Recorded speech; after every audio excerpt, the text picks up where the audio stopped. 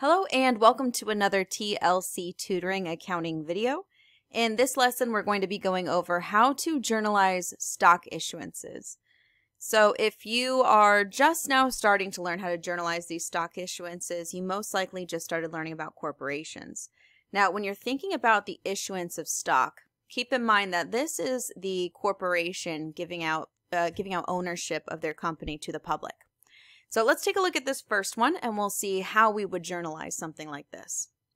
So on January 14th, 2021, Ruby Incorporated issued 1,000 shares of $2 par common stock at $5 per share.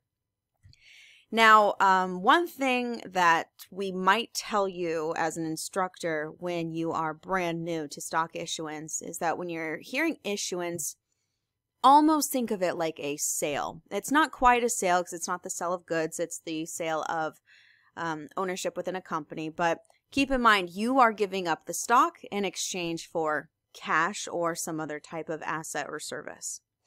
So for this first one, we have the date of January 14th. And in our case, let's start analyzing it to pick out what accounts are being affected here.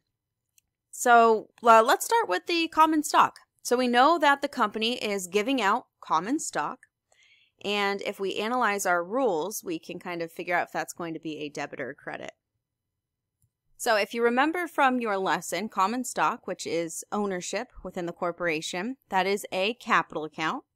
And if we are issuing those shares, then that would be the ownership within the company increasing. And if we take a look at our little debit and credit rules, capital increases with a credit. So we're going to start by crediting common stock.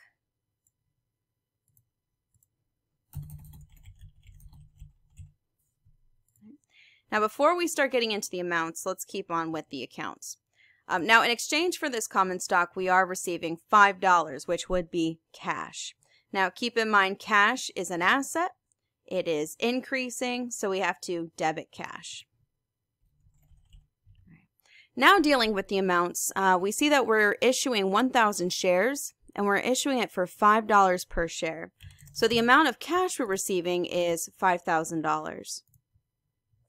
Now, one of the most important rules for issuing stock is to remember that stock is valued at par. So common stock and preferred stock, we value those at par.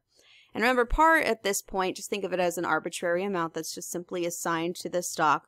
So this $2 per share par times the 1,000 shares means that we're going to credit common stock for $2,000. Now, obviously, you should remember your rule, rules about debits having to equal credits. So we're going to need an additional 3,000 credit. And the account that we're going to use to plug that is going to be paid in capital in excess of par dash common stock. So now our debits equal our credits. Our debits are coming first. And uh, we do have everything kind of lined up here. Uh, let's take a look at B so that you can kind of practice this in another scenario. So we have Ruby Incorporated that is issuing 100 shares of $10 par 2% cumulative stock for $1,700. All right, so in this case, it's the same kind of scenario. Uh, they're telling us that we're issuing stock in exchange for cash. So we are receiving cash of $1,700. Cash is an asset. It's going up. So we debit cash to make it go up. And this time they're giving us a total rather than a per share amount. Now preferred stock is what we are issuing. So the ownership, the preferred stock is increasing and to increase a capital account, we are going to credit preferred stock. And just like common stock, we're going to have to value this preferred stock at par. So 100 shares at $10 per share, $1,000.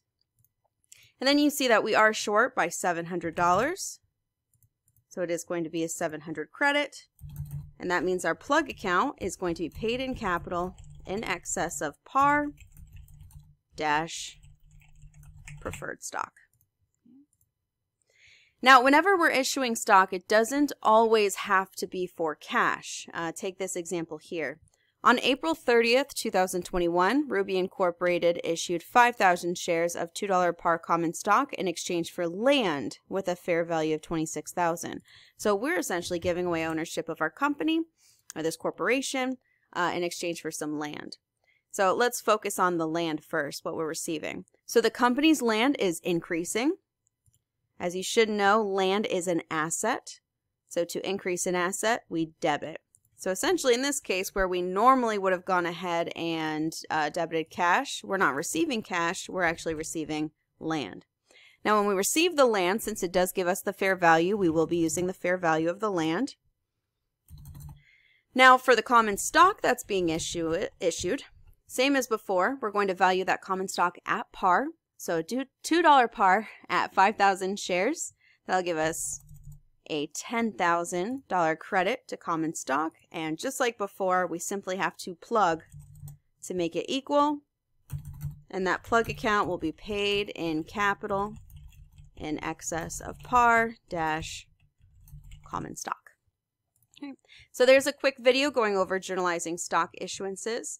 Uh, please keep in mind, while stock issuances may seem a little bit like sales, they are not sales of uh, investments or anything like that. It is literally a, a, sale of ownership to this company. And it is very different from the buying and selling that you would see out on the, um, on the actual stock market. So it is a little bit of a different scenario.